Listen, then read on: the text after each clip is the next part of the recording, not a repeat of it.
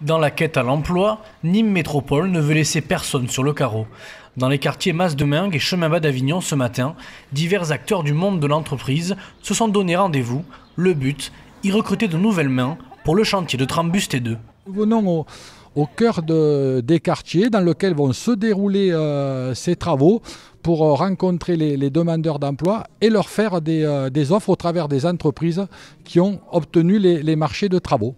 Maçon, chauffeur poids lourd, canalisateur, de nombreux profils sont recherchés pour la période de juin 2021 à décembre 2022. Les jeunes, venus nombreux pour l'occasion, apprécient les démarches mises en place et semblent désireux de travailler dans leur quartier d'origine. On peut constater que les jeunes sont très mobilisés parce qu'ils sont dans les quartiers, bien sûr, en difficulté, et qu'ils sont euh, eux aussi dans des familles avec euh, notamment beaucoup de chômage et beaucoup de bas salaires. Donc je pense que leur exigence, elle est tout à fait légitime.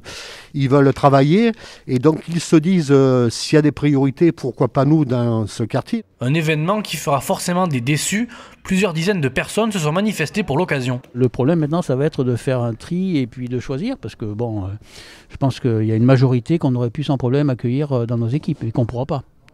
Mais j'espère que sur l'ensemble de, tout ce qui va se faire dans le cadre de ce projet, euh, en dehors des travaux d'infrastructure que nous proposons nous, il y aura aussi d'autres possibilités pour tous ces jeunes.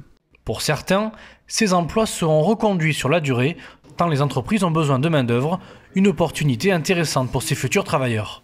Au-delà de ces emplois d'insertion, il y a aussi, euh, et ça peut aboutir à des emplois réels, des emplois pérennes ces emplois, euh, les, entreprises qui, sont, qui, réalisent ces travaux sont des entreprises qui, ont besoin d'emplois.